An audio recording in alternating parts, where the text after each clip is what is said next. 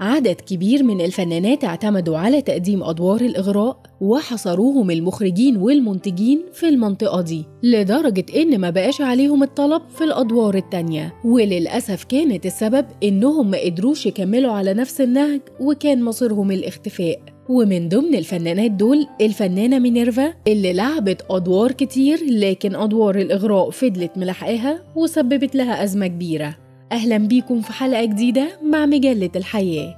معنى اسم مينيرفا هو إله العقل والحكمة وصاحبة جميع المهارات والفنون والحرف اليدوية عند قدماء الرومان. وهو ده الاسم اللي اختارته الفنانة منيرة أحمد خشبة لنفسها. الفنانة مينيرفا أو منيرة هي فنانة مصرية بدأت مشوارها الفني في أواخر السبعينات وشاركت في فيلم انقذوا هذه العائلة سنة 79 وانتشرت أقاويل إنها اشتغلت راقصة قبل ما تشارك في الفيلم. وبعد نجاحها ظهرت كضيفة شرف في فيلم ليلة بكى فيها القمر مع الصبوحة وحسين فهمي. وفضلت تقدم أدوار ثانوية من نهاية السبعينات لحد نص الثمانينات.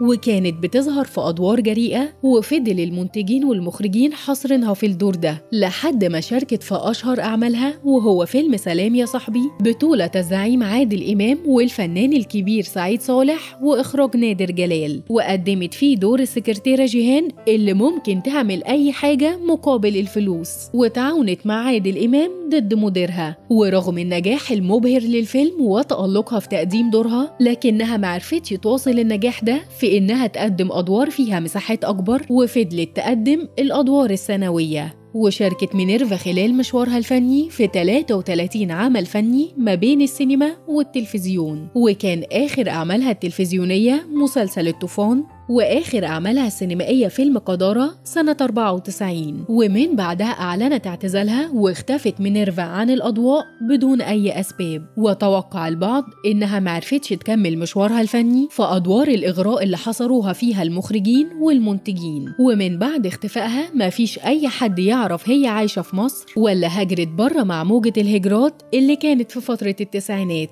وكل اللي انتشر عن أخبارها في الصحافة إنها اتجوزت وهاجرت مع زوجها للولايات المتحدة الأمريكية واتقطعت أخبارها وما رجعتش لحد النهاردة. ورغم إنها بعد حياتها الشخصية خالص عن الأضواء ومفيش معلومات عنها وسايبة أعمالها تتكلم عنها ظهرت أخبار بتقول إنها أخت الراقصة المصرية حنان. وفي نهاية الفيديو شاركونا برأيكم في التعليقات واكتبوا لنا أكتر عمل حبيتوه للفنانة مينيرفا واستنونا في حلقة تانية مع مجلة الحياة. سلام.